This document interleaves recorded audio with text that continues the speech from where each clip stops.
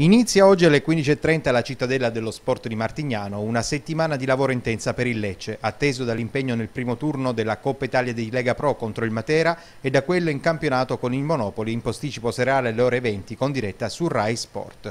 La truppa giallorossa, archiviata la vittoriosa trasferta di Melfi, è chiamata a dare ora continuità ai due successi di fila coincisi con l'arrivo in panchina di Piero Braglia.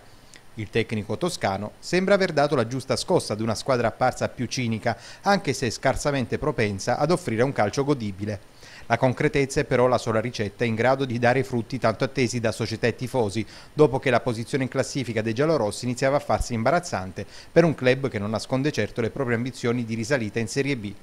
La gara di Coppa sarà utile per dare minutaggio a quegli elementi che magari finora hanno giocato meno e che ancora non hanno avuto modo di mettersi in mostra agli occhi del nuovo allenatore. Inoltre, lo staff medico deve valutare le condizioni di Alessandro Carrozza, che al Melfi non è sceso in campo in estremis per un problema fisico, dove pur figurava nella distinta tra i titolari. Restano invece ancora fermi i box i due lungodegenti Juan Surraco e Davide Moscardelli, i cui tempi di recupero, si sa, sono purtroppo ancora lunghi.